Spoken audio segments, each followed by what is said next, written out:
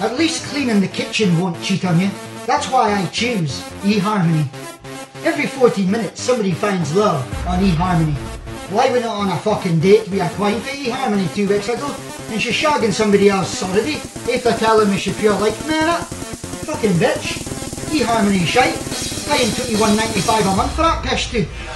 Having a teddy bear is like having a best friend.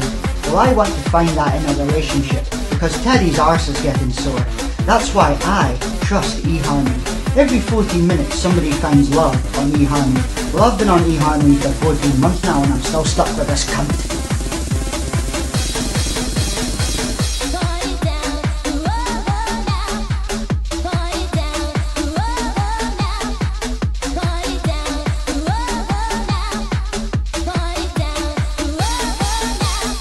Having a shit doesn't last very long. But in a relationship, I want to find something that will last a lifetime.